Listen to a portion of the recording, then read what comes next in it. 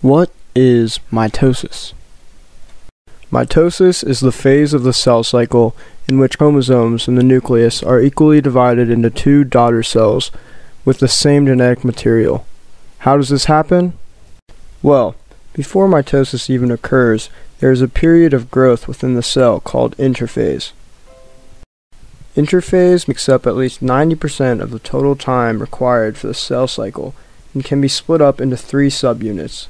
They are the G1 phase, the S phase, and the G2 phase. During the G1 phase, the cell increases in mass in preparation for cell division. During the S phase, the DNA in the cell is synthesized, meaning the chromosomes are doubled.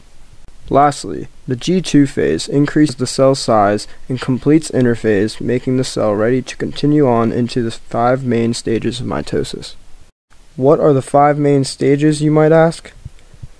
Prophase, prometaphase, metaphase, anaphase, and telophase make up the five stages that are needed to complete mitosis. The first of which comes prophase, which is a phase in the cell where mitotic spindles begin to form from microtubules growing outside of the centrosome.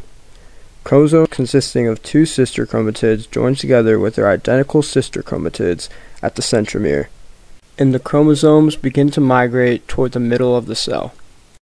Next is prometaphase. During prometaphase, the nuclear envelope breaks into fragments which disappear. The spindle microtubules reach out into the nuclear region and attach to a chromosome. Chromosomes also start to near the center of the cell. After prometaphase comes metaphase, where the chromosomes line up in the center called the metaphase plate. The mitotic spindle is also fully formed. Following metaphase comes anaphase, where the chromosomes along the metaphase plate split apart, separating the sister chromatids. Cell elongation also starts to occur, preparing to split. This phase leads to the final made stage of mitosis, which is telophase. During telophase, the elongation that started from anaphase continues to the point where it starts to create a cleavage furrow. Nuclear envelopes form on both sides of the cell around the chromosomes.